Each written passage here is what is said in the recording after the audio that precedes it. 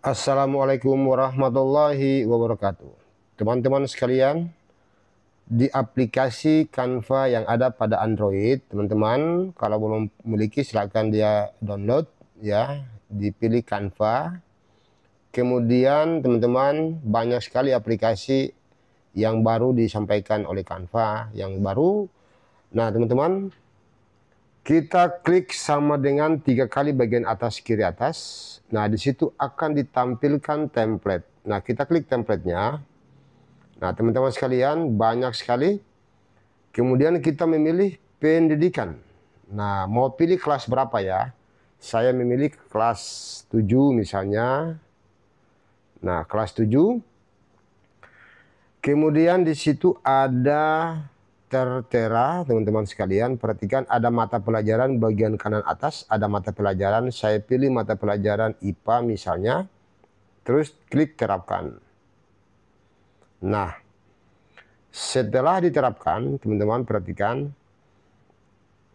dia akan memulai menampilkan berbagai macam materi ajar terkait dengan uh, IPA gitu ya Nah, saya memilih atom di sini. Saya pilih atom. Dia terbuka sebentar, perhatikan baik-baik. Nantinya akan terbuka materinya. Nah, nah muncul teman-teman slide-slide yang ada pada Canva ini, tapi dalam bahasa Inggris gitu ya. Nah, mari kita jadikan dia ke dalam bahasa Indonesia.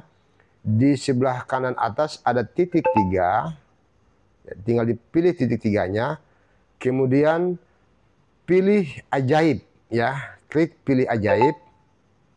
Nah kemudian teman-teman sekalian pilih terjemahkan.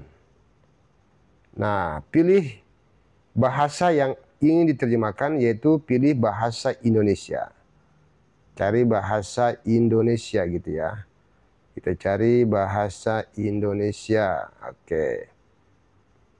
hmm.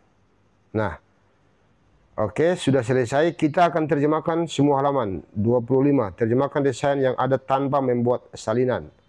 Artinya, kalau kita klik ini maka tidak ada salinan. Kita langsung saja ya, klik terjemahkan. Oke. Nah, dengan demikian teman-teman sekalian, teks tersebut akan diterjemahkan dalam bahasa Indonesia. Kemudian kita ber, dia berhasil, kita buka presentasi. Nah, otomatis teman-teman sekalian, Canva ini materi ajar tadi sudah dalam bentuk bahasa Indonesia. Oke, nantikan terus ya teori atom yang di ya. Nah, ini dia ya, semua grup sudah grup. sudah dibuat oleh Canva dan tinggal kita melakukan presentasi di hadapan siswa. Nah, asik kan? Nah, presentasikan asik kan? Oke, menurut teori atom ya, dan sebagainya. Oke, baik teman-teman sekalian, nantikan terus ide-ide yang lain dari canva.com. Cekidot, salam merdeka belajar.